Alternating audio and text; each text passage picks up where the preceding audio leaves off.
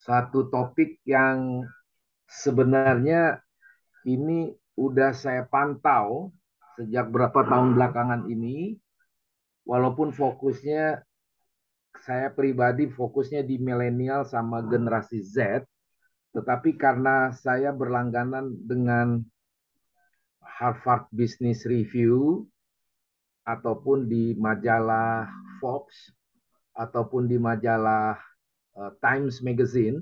Jadi generasi alpha ini menjadi satu momentum fenomenal. Jadi seluruh aspek hidup itu memang sudah harus direview, tanda kutip ya, bukan artinya negatif, harus direview dari segi filosofi, dari segi psikologi, dari segi cultures, ataupun dari segi bisnis, pendidikan. Satu hal yang sangat menarik tadi malam setelah saya membahas mengenai satu topik roasting and deep deep uh, sadness ya. Dan banyak hal yang saya bahas itu kenapa seorang yang bernama Kiki Saputri seorang wanita yang saya kagumi dia mampu membangun satu storytelling yang sangat elegan dari seorang yang biasa saja yang bernama Kiki ini, tetapi pikiran yang mendengar dari apa yang dia tampil di on stage, screen ataupun di dalam realita yang ada di televisi. Itu bagi saya saya kagum sama dia ya. Tetapi menjadi pertanyaan, kenapa roasting itu menjadi deep inside seolah-olah adalah menjadi healing di tengah-tengah kujemu dengan hidup. Kan begitu ya lagu-lagu jadul gitu ya. Jadi ada kejenuhan dan akhirnya saya perhatikan ini tadi malam ya. Uh, saya perhatikan dinamika hukum terlepas kita belum mengatakan oh salah atau ini benar begitu ya. Orang itu dibawa kepada satu seperti lagunya John Lennon, Imagine. Jadi imagine there is no heaven above us, imagine there is no hell below us, and imagine there is no even one religion. Jadi John Lennon ingin memberikan satu free thinkers, free thinkers uh, ke satu stage gitu ya. Jadi orang tidak perlu lagi berpikir kepada substansi di dalam agama tertentu, filosofi tertentu, tetapi memberikan satu freedom of thinking and freedom of how you expose about yourself and then you can imagine who you are in your public square reality gitu ya. Jadi tadi malam itu uh, sangat panjang dan sangat uh, begitu dynamic dan menjadi satu perbendaraan sebenarnya. Jadi roasting itu di abad 21, ini saya sedikit tambahan dulu untuk pembuka ini di abad 21 healing dikaitkan dengan roasting, tetapi sebenarnya tidak ada substansi what are you getting something new, always fresh gitu ya. Tetapi jadi seperti uh, masuk ke wilayah yang diciptakan sendiri. Jadi John Lennon itu uh, saya pikir lagu itu kan 1972. Berarti uh, more than almost 50 years already gitu ya bisa mengudara di dunia maya dan lagu itu sebenarnya terinspirasi karena saya suka filsafat seorang yang bernama Zhang Baduriat penganut uh, filsafat hyper reality. Hyper reality itu adalah Zhang Baduriat seorang filosofer uh, Prancis ingin mengatakan you must get out from the reality. Jadi kita harus keluar dari realitas. Dan itulah muncul filmnya Star Trek tahun 60-an. Lalu muncullah lagu ini dari John Lennon yang memang dia juga berontak di dalam imajinasinya dia.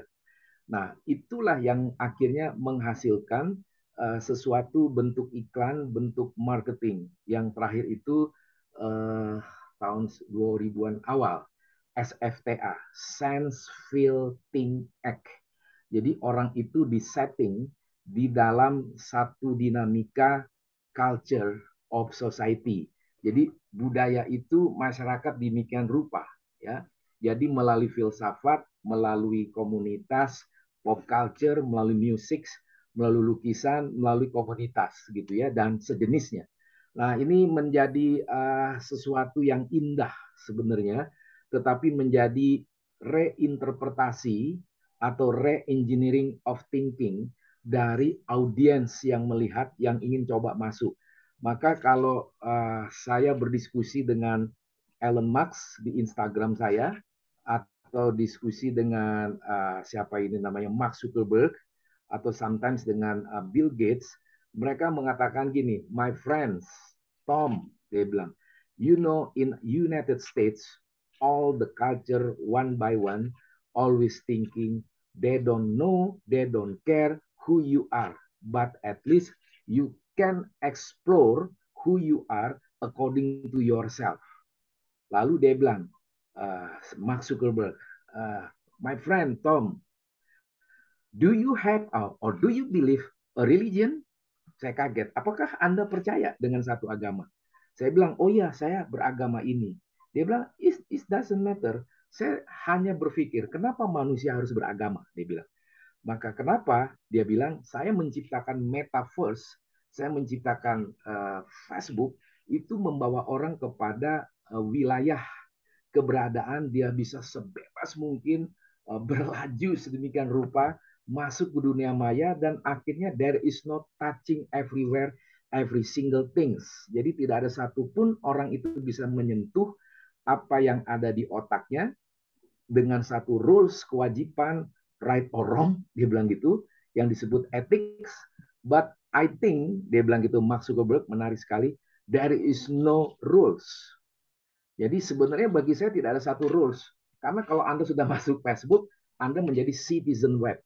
Jadi kalau sudah citizen web itu berarti tidak ada hubungannya dengan agama Anda masing-masing, mau Kristen, mau Buddha, mau Muslim segala macam. Karena kalau Anda sudah bicara soal religion, engkau tidak akan bisa masuk kebebasan ekspresi di dalam uh, dunia maya. Nah, maka uh, Facebook menjadi satu panutan seluruh dunia masyarakat apa pun agamanya apa pun sifatnya, apa pun etikanya, apa pun logikanya, apa pun apa pun apa pun, it doesn't matter kata Mark Zuckerberg. So my friend, I think uh, Facebook and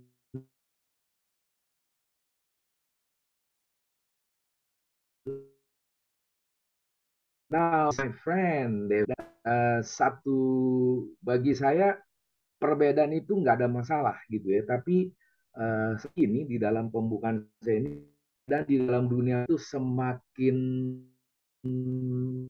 apa ya absurd dalam arti kita harus berpikir ulang jangan kita kejebak kepada uh, satu uh, ketersempitan atau shallow thinking atau shallow shallow interpretation maka salah satu ini tambahan lagi uh, ini pengantar untuk gen alpha itu seorang filosofer postmodern society.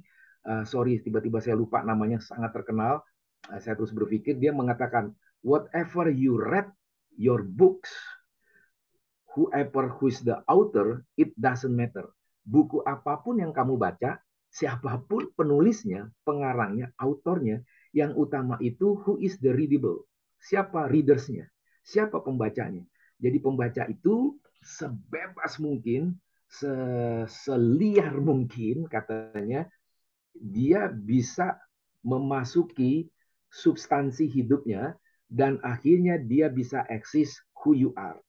Jadi di dalam dunia filsafat itu kalau dibatasi dengan satu aturan dan uh, ketentuan determinasi daripada satu masyarakat, maka filsafat postmodern itu dikatakan kita itu adalah orang yang dungu gitu ya. Karena mempersempit sendiri dan merobohkan orang lain yang berbeda. Jadi orang itu ingin mengatakan it depends who is the readers. Siapa yang membaca maka dia yang menginterpretasikannya. Waktu dia baca anda dan saya tidak perlu takut kalau itu berbeda kalaupun nanti anda tidak mempunyai satu reason behind you are not smart enough walaupun Anda dianggap tidak bagus, tidak mempunyai logika segala macam, it doesn't matter.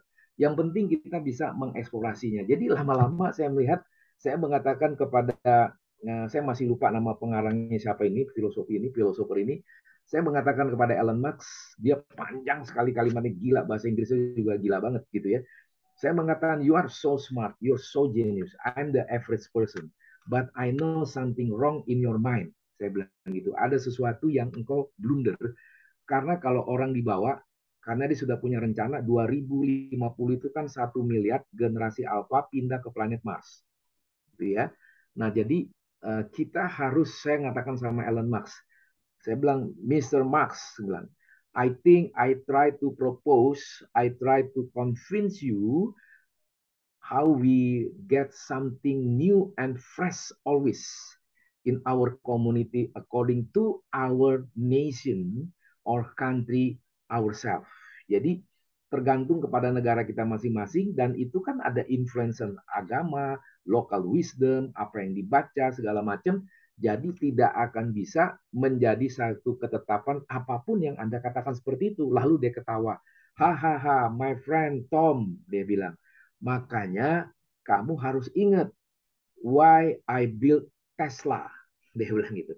Why I built SpaceX why I build rel why next year launching about uh, I want to defeat I want to conquer yang namanya si siapa ini iPhone dia akan keluarkan uh, satu bentuk lagi uh, cellphone-nya ya yang uh, sangat lebih murah tapi lebih canggih dan seterusnya oh saya penasaran begitu ya dan Bill Gates pun juga mengatakan akan launching satu produk yang nanti generasi alpha yang akan ambil. Nah, nanti sedikit saya, uh, saya singgung itu yang tato tulisannya ya. Tato menjadi satu kecanggihan HP yang kita punya masing menjadi tanda kutip lagi kemudian dia bisa mendeteksi mendeteksi kita apa yang ada di mata kita di kulit kita sepertinya sudah dipatron di dalam satu konteks pembentukan apa istilah bahasa sederhananya ya. Jadi hidup kita itu bisa sudah terdeteksi, sudah uh, apa ya, sudah ada kelihatan bentuknya dan kita itu sudah dimonitor sekian detik, sekian sense dari seseorang itu tidak akan bisa lari. Jadi lama-lama ya, kalau ini benar terjadi, saya waktu merenungkan itu membaca itu ngeri sekali hidup manusia. Yang kenapa ngeri? Jadi memang orang itu ingin mengatakan there is no God exactly in our living. According to Friedrich Nietzsche. Jadi Friedrich Nietzsche di abad 18-19 dia mengatakan God is dead. If God is dead, you will be Haberman, Huberman dalam bahasa Jerman itu Superman. Maka Hitler mengangkap itu menjadi satu bukan lagi idiom, menjadi satu direction of life. You are the success story behind in your country or in your corporation or yourself only. Itu yang menjadi uh, satuan bangunan yang sekarang dikembangkan lagi di dalam filosofi postmodern dan ini sebenarnya karena saya mengikuti uh, postmodern filosofi itu baik film-film ya kalau kita melihat filmnya uh, Tom Cruise Mission Impossible ke-7 lalu filmnya James Bond lalu filmnya si siapa namanya ini uh, John Wick uh, Keanu Reeves lalu ada uh, Rosamund Pike lalu ada Jennifer Lawrence di dalam filmnya itu yang mereka pindah ke satu wilayah yang baru itu planet Mars jadi seluruh society itu dirubah. Nah, jadi Bapak Ibu teman-teman, pengantar saya sedikit sebenarnya masih banyak sekali saya mau kasih gitu ya. Ini dari judul Welcome Generasi Alpha itu gambarnya adalah gambar saya dengan anak saya pada tahun 2013 di lantai 56 gedung BCA di Sudirman gitu ya. Jadi waktu itu saya berulang tahun pada saat itu uh, saya pergi ke Singapura ada tugas gitu ya Lalu minggu depannya baru istri saya bilang kita makan deh sama anak kita rayakan ulang tahun kamu karena kamu saat ulang tahun kamu ada di Singapura. Nah kita rayakan Nah, di situlah kita berbicara uh, uh, uh, uh, itu 2013. 2013 jadi nine years ago uh, waktu itu dia 13 tahun, sekarang 22 tahun. Dia sudah berbicara, ini gedung tinggi, saya bisa melihat, saya bisa membayangkan apa yang saya lihat ini sebenarnya saya sedang mau berpikir apa ya, Papa? Waktu tinggi ini 56 kita naik lift cepat sekali. Sampai 56 langsung kita masuk ke lantai 56 kita lihat ada restorannya segala macam kita bisa lihat view-nya uh, begitu enak dan luas sekali. Sehingga kita mengalami personally dia bilang ingin berinteraksi dengan papa berbicara filsafat. Dia bilang saya kaget juga karena memang dari kecil sudah saya diskusi filsafat sama dia tapi dengan bahasa sehari-hari bukan teori gitu ya. Saya tidak pernah mengatakan filsafat adalah bukan itu tapi saya mengatakan apa film ini ada begini ada begitu. Nah kita discussion itu sehingga waktu kita naik ke lantai 56 dia mengatakan apa? Dia bilang papa is it possible if someday whatever you talk it doesn't care for us and is not proven and you are totally wrong. Jadi kalau sekarang papa ngomong begini-begini, ternyata nanti 10 tahun akan datang, 15 tahun akan datang, ternyata papa salah. Jadi sebenarnya papa itu menjadi role model kami sebagai seorang anak atau itu hanya satu uh, percikan, serpihan perkataan papa itu pernah lewat, pernah lewat. itu itu ngeri sekali kalimatnya. Pernah lewat, pernah berkumandang,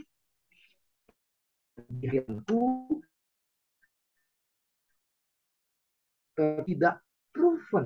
Berarti kalau begitu, someday kalau saya juga menikah punya anak, saya akan mengatakan apa pun yang mama, anak saya perempuan, ataupun papa katakan, bukan menjadi the ultimate thinking, the ultimate suggestion the ultimate feeling but only only ya kan? Lewat saja sehingga it depend on you. Jadi dia mulai meragukan kalau begitu pak jangan-jangan hidup kita tuh selalu bebas dan tidak lagi ada ukuran. Nah ini ternyata banyak lagi sih yang lain. Pernyataan itu bapak ibu teman yang eh, teman-teman itu menjadi fondasi generasi alpha in this time sehingga waktu saya melihat dari persiapan bahan ini, tapi saya tidak begitu terlalu mendalam, tapi saya lihat fenomenal. Tapi saya lihat lagi Elon Musk, Mark Zuckerberg, lalu saya kan sering lihat di CNN, uh, eh, apa TV pok asing lah gitu ya, CGTN dari China tapi yang bahasa Inggris segala macam itu, iya memang. Jadi masyarakat sekarang ini uh, sedang dipersiapkan dan oleh tiga dewa negara Indonesia dewa kita satu kan dewa 19 ya kan? Dewa 19 itu kan ya ini bercanda lah ya uh, top music kita lah pop band gitu ya. Uh, itu yang menjadi uh, satu bangunan komunitas entertainment. Ya sekarang dia lagi di SCTV Award. Kita tidak tahu apakah dia menang segala macam kita nggak tahu lah tapi it doesn't matter lah. Nah jadi saya mengatakan sesungguhnya di dunia ini bukan dewa 19 hanya ada tiga dewa satu Bill Gates, kedua Mark Zuckerberg, ketiga itu Elon Musk. Jadi tiga orang ini menjadi satu penentu. Ini bukan sesuatu truth, bukan kebenaran, gitu ya. Tetapi menjadi direction di dalam komunitas di seluruh dunia. Apa pun yang dia ngomong menjadi perbendaharaan serius orang berespon. Contoh saja nih, eh, siapa namanya nih Bill Gates. Ya kan Bill Gates ngomong yang sebelum COVID itu semuanya terjadi. Luar biasa ini ya. Sampai sampai-sampai kita pikir apakah dia juga desain all the story behind of life. Dan dia ingin mencap, men, membuat sesuatu yang baru baru baru. Dan akhirnya ini bukan perbedaan kita anggap dia salah gitu dia genius gitu ya. Menjadi satu bangunan struktur culture the new world order. Jadi satu bangunan dunia yang baru itu sudah dikatakan di uh, banyak lah kalau kita lihat CNN atau di majalah-majalah gitu ya. Kan saya banyak bergabung di situ saya pantau. Lalu Elon Musk seperti saya katakan tadi lalu Mark Zuckerberg. Jadi tiga orang ini secara umum sedang mempersiapkan satu miliar generasi alpha yang lahir di akhir-akhir tahun 2000-an ini ya. Itu akan pindah ke planet Mars. Jadi 2030 berarti berapa tahun lagi? 8 tahun lagi lah atau ya 8 tahun lagi itu orang-orang sudah dimonitor, sudah dipersiapkan uh, sedemikian rupa. Itu terinspirasi kalau Bapak Ibu dan teman-teman perhatikan nontonlah filmnya Jennifer Lawrence, film lama mungkin lima tahun yang lalu tentang Passengers. Nah dari situ secara singkat si Jennifer Lawrence yang cantik-cantik ini sama yang ganteng-ganteng itu masuk di dalam satu kapal isinya 5.000 orang. Jadi udah naik bla bla bla bla bla nanti ada uh, chaotic pesawatnya ada problem di udara hampa itu tiba-tiba uh, mereka mengatakan uh, jadi yang ikut itu tunggu 90 tahun yang akan datang baru mereka keluar dari kapsul. Jadi mereka dimasukkan di situ untuk dipersiapkan menuju satu planet yang baru dan mereka bersama yang lain itu akan memerintah dan hidup di planet yang baru. Jadi cerita singkatnya uh, akhirnya mereka sampailah di tempat planet yang baru dan mereka mengatakan wow wonderful dia bilang ya. Kita ternyata 90 tahun hidup di dalam kapsul dan kita masuk ke wilayah dunia yang baru the new world order. Ya jadi satu kehidupan yang baru dari generasi bukan generasi kita nih atau generasi papanya atau apa gitu ya. Kan generasi X gitu ya. Kita 50 lah. Jadi kalau orang yang umur sekarang 30 mungkin masih bisa sedikit persyaratan. Tapi orang yang sekarang ini baru lima tahun, 20 tahun gitu ya, itu persyaratan 2030 yang akan di screening, yang akan dilihat sedemikian rupa, nanti uh, masuk di dalam uh, apa istilahnya itu uh, training ya dan ada satu pembentukan segala sesuatu yang sangat cepat dan akhirnya ada brainstorming, brand wash tanda kutip masuk ke wilayah preparation the planet Mars. Sehingga kalau sudah masuk the planet Mars, there is no sentence single where are you come from. Nggak ada lagi. What is your religion? Apa agama kamu? Nggak ada lagi. Apa yang apakah kamu kaya? Nggak ada lagi. Apakah kamu miskin? Apakah kesukaan kamu? Nggak ada lagi. Pokoknya semua di setting, dibuat sedemikian rupa, pindah ke planet Mars. Menjadi problem pertanyaan sebelum saya masuk bahan adalah apakah kita masing-masing melihat hal ini menjadi satu the challenging and satisfaction of our brain try to discussing with our children so deeply. Maafkan saya karena ini saya di hotel, saya lupa membawa, uh, bukan lupa, tidak ditransfer dulu uh, video dari seorang wanita anak-anak masih balita kalau tidak salah dia berbicara yang begitu lupa. Namanya Charlotte siapa? Gitu saya lupa ya. Dia bilang wow wow wow wow five positive thinking five positive thinking saya waktu dengar gitu kaget gila anak ini masih dua tahun setengah atau tiga tahun tapi bisa mengencourage, bisa mengagetkan Tom Tobing ini, istilahnya kaget luar biasa, dan itu ratusan ribu bule-bule kagum dengan cewek ini. Aduh, saya lupa lagi itu ya. Sehingga orang secara psychological realization, secara cool heart, dan secara uh, wawasan wider horizon dengan si cewek cantik kecil ini, kita bisa masuk loh ke wilayah itu. Kaget saya. Sampai saya pikir sih aku nggak bisa ya? Gitu ya. Jadi uh, storytelling storytelling behind only 15 seconds but able to convince some people atau viewers akhirnya sadar dia bisa cool. Positif side positif side positif side positif side dia bilang gitu kan saya kaget akhirnya semua ikut gitu loh nah ini generasi apa sudah menjadi Eh, bagian-bagian uh, yang uh, tidak menakuti menjadi sesuatu yang menghibur, tapi sekaligus investasi anak kecil membuat the new world order starting from now. Jadi satu pemerintahan dunia yang baru, yang spektakuler dimulai dari sekarang oleh anak-anak ini yang mungkin segala sesuatu tuh dilihat di permainan games dan internet. Waktu di saya ini tinggal di Kelapa Gading, Jakarta. Jadi waktu itu ada uh, apa namanya istilah kakak dari istri saya tiba-tiba datang dari Amerika dia warga negara sana saya kaget di depan rumah udah muncul begitu ya bawa kita ke Old Shanghai Kelapa Gading wah memang enak tempatnya keren ya udahlah kita nurut lah sebagai adik begitu ya dibawa anaknya berarti sama cucunya begitu ya wah ke sana sini ke sana sini ke sana sini main segala macam bagus lah namanya Old Shanghai Sedayu City di Kelapa Gading but persoalannya apa? Si cucunya ini anaknya bilang dia nangis, e, Oma, saya oh ini gini gini gini mau apa permainan ini? Lalu mamanya bilang nggak boleh. Lalu dia datang ke papanya. Kita kaget ngeliat apa sih yang dibicarakan. Dia mengatakan apa?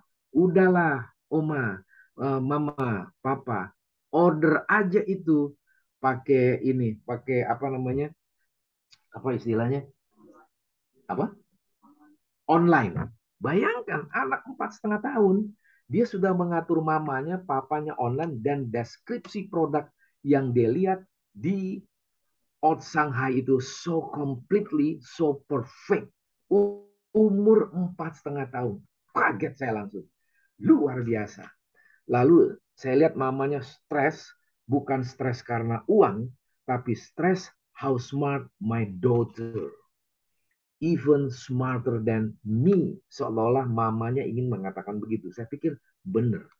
Jadi Bapak Ibu dan rekan-rekan dari pengantar saya yang melihat uh, betapa sesuatu yang ini ya. Sekarang saya masuk saja supaya kita uh, nanti ada tanya jawab begitu ya. Uh, saya coba ini hmm, bahannya ini ya sehingga menjadi uh, satu perbendaharaan yang uh, menarik. Ini gambar anak saya di lantai 56 itu ya. Itu tahun uh, 9 tahun lalu ya, uh, 2013. Jadi uh, kita sempat berfoto. Dia sekarang lagi kuliah di United States ya. Di Amerika sedang mengambil education dan psikologi gitu ya uh, ini dia namanya saudara Vio ini kain di belakang di lantai 56 gitu ya nah lalu uh, ini nah ini minggu depan saya akan membahas global citizenship education jadi konteksnya jangan lagi apa yang saya lihat perdebatan siapa ini namanya Menteri Pendidikan yang saya sangat hormati, saya kagumi orangnya pinter banget ya, Pak Nadim Walaupun ada hal-hal perdebatan itu hal kedua. Perdebatan itu is a fact of life, but reality how you smart to run all things. Jadi memang segala sesuatu itu hidup di dalam pertarungan menghasilkan kontribusi yang selalu konteks kekinian dan mempunyai arti reputasi dan prestasi pribadi. Maka saya akan bahas ini global citizenship, education semuanya Eh, dengan skema mapping of thinking gitu. Saya dari dulu udah terbiasa dari umur 8 tahun gitu ya. Karena dari keluarga miskin nggak punya buku, jadi papa saya mengatakan gambar sendiri supaya kamu bisa ingat apa yang kamu bicarakan, dibilang begitu ya. But anyway, that's good gitu ya. Nah itu minggu depan saya akan bahas global citizenship education ya. Jadi pas kalau tidak salah tanggal 25 itu hari guru gitu ya. Nah saya akan coba kontribusi di dalam konteks global. Apa sih yang harus uh, disiapkan? Tidak hanya masalah uh, merdeka merdeka itu ya. Uh, saya juga mengambil pendidikan di uh, konteks doktoral saya. Tapi saya ingin selalu kasih yang baru yang kita harus berpikir lagi ke depan. Nah jadi welcome generasi alpha saya akhirnya menemukan ini nah ini Mark MC Kendall dia adalah seorang konsultan marketer yang ada di Australia. Dia mengatakan apa? Ini saya coba gambarkan sederhana saja ya. Anak-anak sekarang itu generasi alfa itu berlimpah materi. Dari mana? Dari papa mamanya. Berlimpah materi ini bukan berarti dia punya satu juta, punya seratus ribu, punya dua ratus juta. Bukan. Berlimpah materi yang bisa dipegang uang, dia bisa makan, dia bisa main game, dan seterusnya. tapi berlimpah materi ini juga sesuatu yang bisa memperkaya otak dia karena dia serap whatever the kids listen carefully and watching carefully try to booster in their kids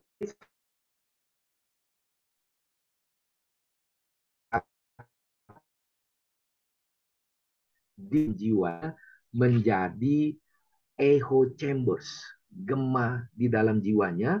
Dia melihat lagu ini, dia melihat tarian ini, dia melihat ini, melihat ini, dan saya perhatikan ternyata generasi Alpha sekarang mampu mencoba mereferensikan itu menjadi tatanan interpretasi. Nah, tadi awal saya sudah membahas mengenai filsafat postmodern dari Jean Baudrillard dan rekannya itu, aduh saya jadi lupa ya.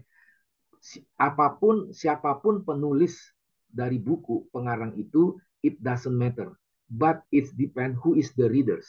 Tergantung siapa yang membaca akan menghasilkan interpretasi dan juga akan menghasilkan akidah-akidah baru tidak berurusan dengan siapa yang mengarang buku itu. Perlu komposisi, keberanian rekonstruksi, and uh, membuat segala sesuatu itu menjadi berubah, bisa berkurang, bisa tidak benar. Itu disebut dekonstruksi kalau istilah filsafat. Jadi segala sesuatu itu didekonstruksi, tidak ada arah, tetapi menuju apa yang dia bangun struktur pikirannya dari apa yang dia baca dengan referensi dan akhirnya dia menemukan who you are maka mereka tuh berlimpah materi dari generasi alfa. Secara sederhananya, generasi alfa itu lebih cerdas hidupnya daripada kita masing-masing. Dalam arti bukan kita bodoh gitu ya. Mereka lebih mau menyerap dan langsung digoreng istilahnya. Ya, digongseng, digoreng, dikasih uh, kecap, dikasih cabai, garam itu udah mulai dari kecil. Seperti yang cewek tadi itu. Ya, Eh, kakak dari istri saya punya anak, punya cucu gitu ya. Dia sudah mampu melihat dan anak kecil membaca omanya. Bayangkan, dari umur 4 tahun bisa baca pikiran omanya yang sudah lebih dari 60 tahun. Can we imagine? Gitu ya. Jadi mereka berlimpah materi yang tidak melulu uang satu juta, seratus ribu, bukan. Tapi more than that, gitu ya, lebih dari itu. Maka kuncinya mereka paham sekali teknologi. Maka itu disebut digital native ya. Kalau kita ini kan digital bukan native tapi digital uh, apa ya yang sudah berpindah-pindah kita tempel sana tempel sini begitu ya yang melakukan segala sesuatu itu ada arah tapi digital native langsung bangun tidur langsung tak langsung main gitu jadi mereka lebih cepat daripada kita nih yang umur 30-an ke atas atau 40-an ke atas. Jadi karena paling paham teknologi, Mr. Mark Max Cradle mengatakan usia mereka akan lebih lama. Saya kaget. Saya pikir kenapa bisa lebih lama? Ternyata mereka mau menjelajah, jadi mereka tidak ada kebuntuan, tetapi saya mengatakan tetap ada frustasi karena ada the emptiness of soul, sehingga mereka perlu diairi segala sesuatu di dalam substansi yang benar eh, mau nggak mau jatuh lagi bukan jatuh maksudnya berkorelasi lagi dengan agama dari uh, papa mamanya. Karena biar bagaimanapun agama itu kan uh, air teduh ya yang menghidupi jiwa kita sebenarnya. Tapi terlepas dari itu semua bapak ibu dan teman-teman generasi alfa itu tidak mau di apa ya dihardik. Eh salah. Eh dosa. Ini melawan nabi. Ini melawan uh, kitab ini melawan agama, ini melawan ini, melawan sejarah. Nggak ada. Itu sesuatu yang tidak boleh seperti itu. Dalam arti tidak boleh ini bukan berarti uh, kita membetulkan dia, bukan. Tetapi mereka lebih suka interaksi dan siap berdiskusi. Akhirnya kalau saya sih agak begini nih, logikanya lebih tajam gitu loh. Karena itu tadi dia serap, dia serap, dia serap, dia serap, maka dia urai jadi mereka tanda kutip lebih memahami, menghidupi dan melakukan ilmu apa uh, kimia, chemicals ya. Ilmu kimia kan H2O tambah O2 apa HCl segala macam. Udah sudah seperti itu cara pikirnya. Nah sementara kita sebagai orang tua atau sebagai paman nggak seperti itu. Oh ini salah. Kamu ini kamu ini. Ah itu udah nggak bisa. Jadi generasi alpha ini welcome generasi alpha. Orang tua I think we should learn deeply seriously. Kita harus belajar benar-benar, kita harus belajar filsafat, belajar psikologi, belajar budaya, belajar sejarah, uh, apa historical development, ya. Kita belajar seperti uh, saya tadi membahas tentang siapa namanya uh, Friedrich Nietzsche akhir abad 18 gitu. Lalu Jennifer eh Jennifer siapa uh, Yang Baduria itu 1960-an itu sudah benih-benih yang dia monitor dan akhirnya menjadi uh, satu anutan dan panutan. Dan pendidikan lebih lama kenapa? Karena dia belajar dari uh, teknologi. Dan pendidikan lebih lama bukan berarti dia 30 tahun, 10 tahun, segala macam. Tidak. Tapi justru karena dia baca itu apa ini namanya eh, teknologi itu kan. Jadi tinggal pencet ini ser mungkin dia dengar mamanya lagi marah eh kamu ah, ini maaf kata nih ah, kamu itu bodoh. Dia bilang nanti dia ketik kata bodoh. Waduh dia lihat gambar bodoh pakai pakai apa istilahnya pakai gambar bodoh ada memenya itu kan jadi kelihatan seperti atau dia bilang monyet kamu ih gambar monyet. Ternyata bukan monyet binatang tapi monyet kartun monyet ini segala macam sampai hal-hal yang paling jorok yang tidak etis sekalipun dia sudah baca. Dan anak kecil itu even dari umur setahun kayak uh, dari apa hmm, cucu daripada kakak istri saya itu mereka pasti udah anak ini sudah menyelam kepada sesuatu yang atributasinya begitu luar biasa. Wah ini uh, bisa menakutkan bisa memilukan bisa kita harus lebih waspada. Jangan sampai nanti anak itu akhirnya menghina kita sebagai oma, sebagai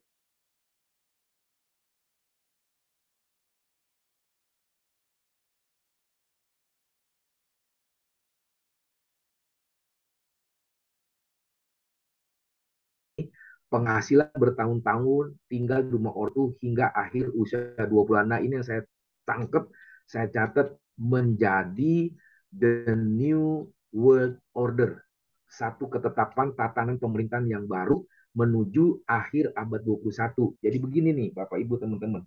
2030 ini kalau berhasil ya, mereka sedang dijaring bukan ada daftar nama siapa segala macam tidak, tapi dijaring di dalam uh, apa algoritma. Jadi waktu dia main itu di dalam sistem game segala macam sudah terdeteksi, misalnya seperti sudah terdeteksi who you are, how old are you, what is your hobby, uh, what is your problem, what is your bla bla bla itu terekam, terdeteksi di Google who is Audrey. Dan itu akan menjadi uh, spionasnya Google. Ini kalau pakai bahasa ini ya, menjadi satu uh, apa ya dipersiapkan orang ini akan dikategorisasikan, diklasifikasikan dan akhirnya menjadi satu prioritas yang dipersiapkan someday 2030.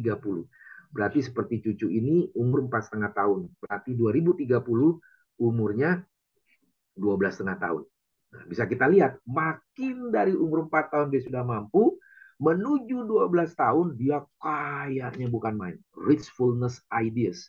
Heritage yang dia dapat, jangan-jangan dia melampaui orang tuanya, neneknya, ataupun pamannya segala macam. Ini saya melihat ya. Jadi ini menjadi setting di dalam the new world order dari generasi atau kids alpha ini. Jadi mereka penghasilannya dari orang tua dikasih, dikasih, dikasih, dan akhirnya karena main games terus orang tuanya tanpa sadar memperbudak anaknya ya tetapi tidak mengedukasinya sehingga nanti akan menjadi jebakan-jebakan Batman. Maka di sini teman-teman akses internet game yang saya sebut ini menjadi point of view sekaligus cultures, sekaligus menjadi values. The three things behind ini menjadi kehebatan daripada TikTok. Maka kenapa TikTok saya sudah lebih dari uh, eh, 100 lebih kali ya. Saya baru saja bermain TikTok. Selama ini saya suka TikTok. Saya maunya Facebook Live. Facebook Live saya sudah ada 300-an.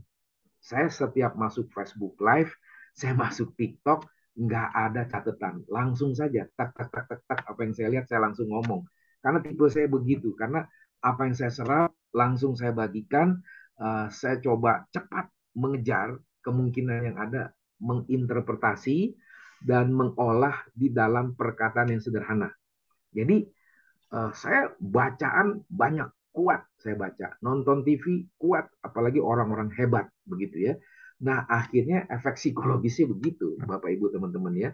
Nah, justru generasi alfa itu ternyata saya makin sadar lebih dari apa yang saya lakukan.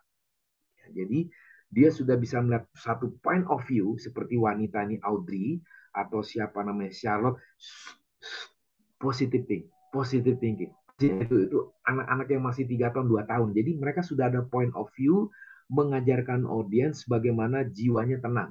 Can we imagine umur tiga tahun bisa seperti itu? Dan mereka membangun satu culture, satu budaya, ekspresi berbicara. Maka selalu saya mengatakan di komunitas-komunitas muncullah kita sebagai orang umur 30 tahun ke atas atau 20 tahun ke atas berbicara di TikTok. Terserah Anda mau bicara apa saja, itu eksplorasi, itu kan free of charge, ya kan? Dan juga di Facebook Live, juga di uh, apa istilahnya YouTube dan seterusnya ya. Jadi kalau kita muncul secara live, maka adanya COVID ini kan Zoom jadi bagus. Maka waktu saya dapat Zoom di situ, saya bikinlah uh, training yang bayarnya sangat murah. 50.000 ataupun 200.000. Objektif saya adalah bukan cari uang,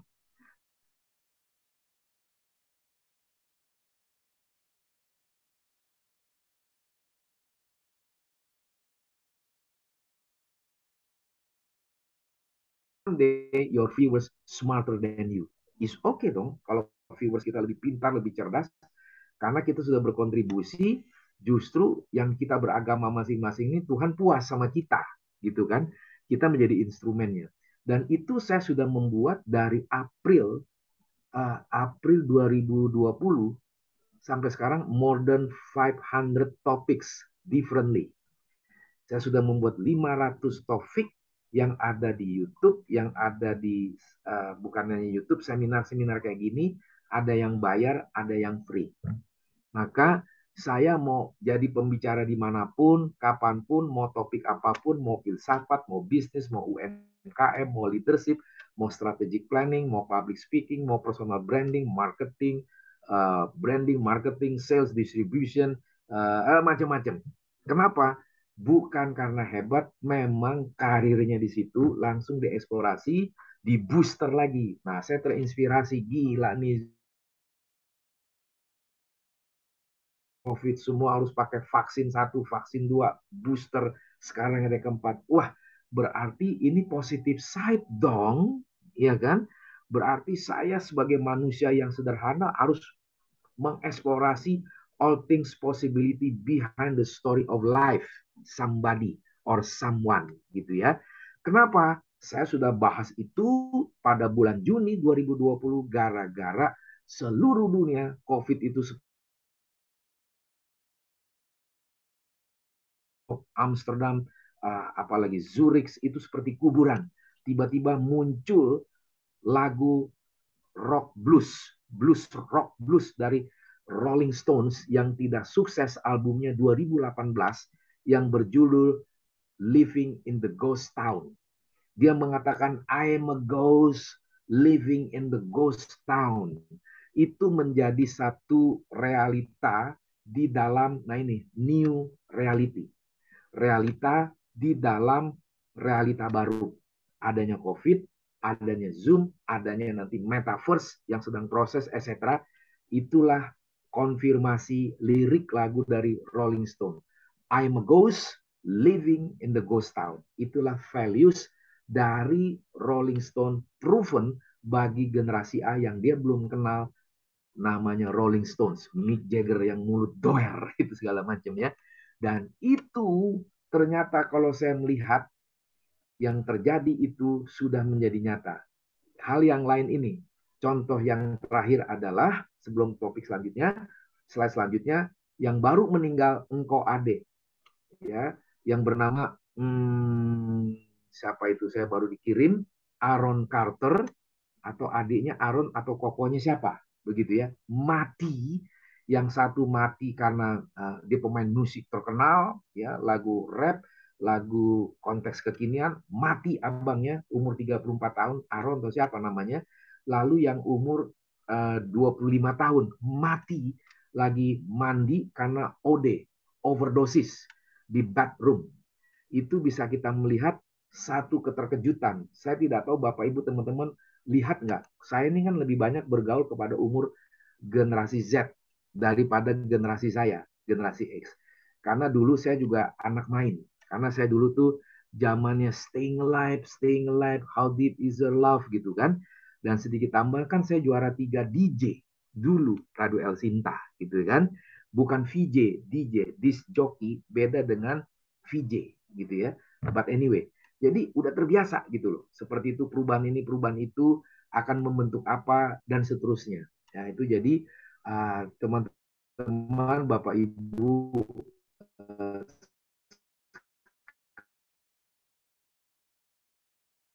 ini dua hari sebelum saya keluar kota culture values. Nah, saya lanjutkan dulu nih, saya cepat. Ya.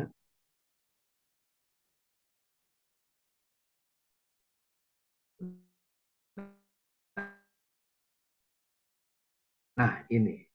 Jadi generasi A itu dari point of view saya, saya membuat satu kalimat interest, passion, otensitas, transparent, screen.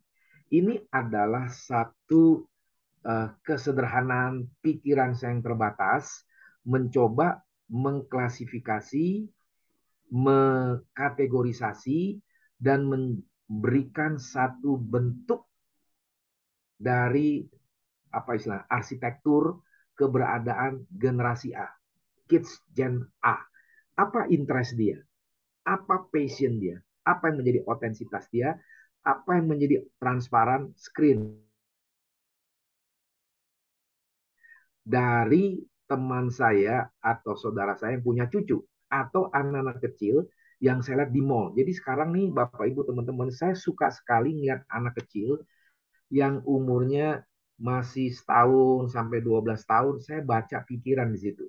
Saya baca psikologi, how your face differently and changing so smooth, and nobody realize there is something with what di dalam diri orang itu akan terjadi apa. Mereka pinter sekali, sudah menjadi aktor dan aktris di dalam hidup mereka yang masih 12 tahun ke bawah.